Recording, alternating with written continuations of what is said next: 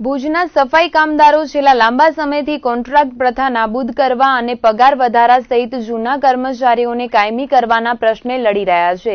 જેમાં સફાઈ કર્મીઓએ આજે ગાંધીજીની પ્રતિમાથી રેલી યોજીને ભાજપ કાર્યાલયે કૂચ કરી હતી. પોતાની પડતર માંગણીઓ સંતોષવા માટે સૂત્રોચ્ચાર કરીને નીકળેલી રેલી ભાજપ કાર્યાલયે પહોંચી હતી. જ્યાં જિલ્લા ભાજપ પ્રમુખ સહિતના હોદ્દેદારો હાજર ન હોતા કલાકો સુધી પ્રદર્શન કરાયું હતું. અંતે જિલ્લા ભાજપ પ્રમુખ કેશુભાઈ પટેલ કાર્યાલય પર આવ્યા બાદ તેમને સફાઈ કર્મચારીઓએ પોતાની રજૂઆત કરી હતી. છેલ્લા એકાદ મહિનાથી સફાઈ કર્મીઓ દ્વારા લડત ચલાવવામાં આવી રહી છે, જેમાં પ્રથમ સુધરાઈ કચેરી સામે ધરણા કર્યા બાદ કલેક્ટર કચેરી સામે પ્રતિક ઉપવાસ કરાયા હતા અને આજે જિલ્લા ભાજપ પ્રમુખને રજૂઆત કરાઈ હતી. તેમ છતાં જો પ્રશ્નનો નિવેડો નહીં આવે, તો ગાંધીનગર સચિવાલય ખાતે પ્રદર્શન કરીને રજૂઆત કરવામાં આવશે.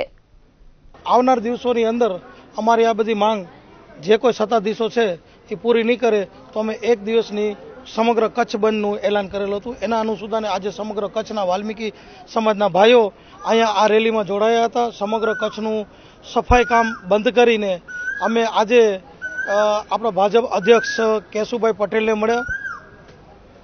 આશ્વાસન અમને ઘણું હતું આ કે અમારી માંગ આટલી બધી છે તો પૂરી કરશે.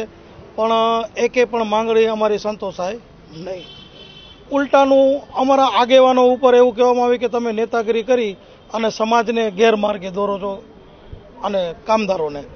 ખરેખર આજે પચીસ પચીસ વર્ષથી અમારા સફાઈ કામદારો પીલાય છે અને જો એની માંગ ઉપાડવામાં જો અમે નેતા થઈ જતા હોય તો ખરેખર કેટલી અંશે અમારા મતે લાંછન ઉપર વાત કરી. હવે હવે બસ, હવે ઘણું થઈ ગયું. અમારાથી બહુ અતિની ગતિ જેને કહેવાય ને સહનશીલતાની હદથી પર બાળ અત્યાચાર ચાલુ થઈ ગયા છે. હવે અમે જમ- કરી અને અમારા એક સંકલન સમિતિની નિવૃત્તિ કરવાની છે અખિલ કચ્છ લેવલે અને આનાથી પણ હવે અમે આ ઉગ્ર ઉગ્ર રજૂઆત કરશું અને ઉગ્ર આંદોલન કરશું. હવે આ ચીમકી નથી. અમે કીધું હતું કે આ એક દિવસની ટેલર છે કે અમે કચ્છ બંધ કરાવી શકીએ છીએ. હવે પિક્ચર દેખાડશું. હવે અમે પિક્ચર આખું દેખાડશું. જો આવનાર દિવસોની અંદર અમારો પ્રોબ્લેમ સોલ્વ નહીં થયો તો. એ સો ટકાની વાત છે.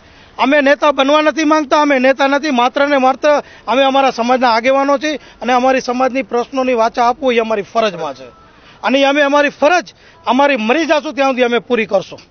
એ સો ટકાની વાત છે.